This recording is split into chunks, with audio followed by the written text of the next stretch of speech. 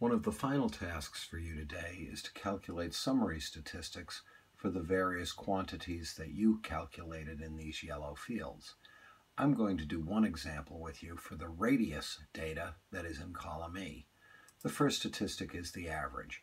You might recall this is the average function, which is um, which you can use by typing equals to indicate that a formula is coming, followed by the word average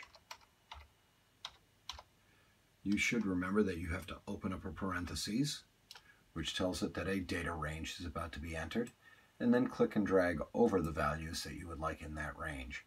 When you hit enter, you have an average for that column.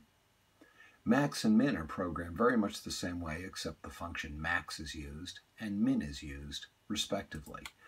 Equals max, open the parentheses, click and drag over a data range, hit enter equals min, open up a parentheses, click and drag over the data range, enter.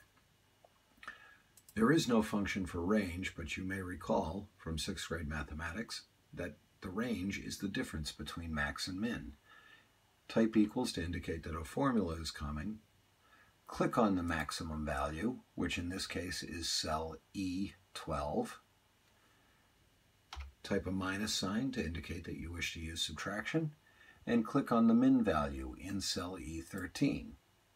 You should see that formula appear in cell E14, and when you hit enter, the final answer appears.